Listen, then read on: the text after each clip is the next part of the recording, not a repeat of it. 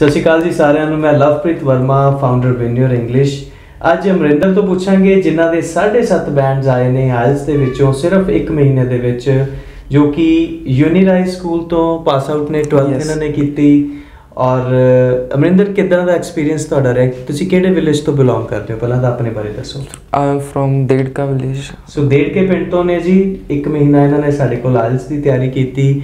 ਔਰ ਰਿਜ਼ਲਟ ਤੁਹਾਡੇ ਸਾਹਮਣੇ ਹੈ 7.5 ਬੈਂਡ ਅਮਰਿੰਦਰ ਕਿੰਦਾ ਦਾ ਤੁਹਾਡਾ ਐਕਸਪੀਰੀਅੰਸ ਰਿਹਾ ਕਿਦਾਂ ਦਾ এনवायरमेंट ਸੀ ਵੈਨ ਯੂ ਆਰ ਇੰਗਲਿਸ਼ ਤੇ the environment was very good and it is the best institute in Jagraon I would say and the material provided is the best and to practice so regular material milda si tonu kare le jaan waste bhi yes i got regular material from veneer english even i can practice it at home so ਜਿਸ ਤਰ੍ਹਾਂ ਅਸੀਂ ਦੱਸਦੇ ਹਾਂ ਸਾਡੇ ਕੋਲ P H D English trainer ਹੈ ਕੀ ਤੁਸੀਂ ਉਹ ਚੀਜ਼ ਫੀਲ ਕੀਤੀ ਕਿ highly qualified P H D trainers ਨੇ ਬਿਕਾਜ਼ ਸਾਰਿਆਂ ਨੂੰ ਇਹ ਚੀਜ਼ ਪਤਾ ਹੋਣਾ ਚਾਹੀਦਾ ਸਾਡੇ ਕੋਲੇ P H D English trainer ਨੇ M Phil M A English trainers ਨੇ ਬੱਚੇ ਹੀ ਬੱਚਿਆਂ ਨੂੰ ਨਹੀਂ ਪੜਾਉਂਦੇ ਸਾਡੇ ਸੈਂਟਰ ਤੇ ਐਕਸਪਰਟਸ ਨੇ ਸੋ ਇਹ ਚੀਜ਼ ਤੁਸੀਂ ਪਰਸਨਲੀ ਫੀਲ ਕੀਤੀ ਯੈਸ ਪਰਸਨਲੀ ਮੈਂ ਬਹੁਤ ਫੀਲ ਕੀਤੀ ਕਿ teachers are very well qualified and i faced difficulty in writing part and teacher helped me improve that.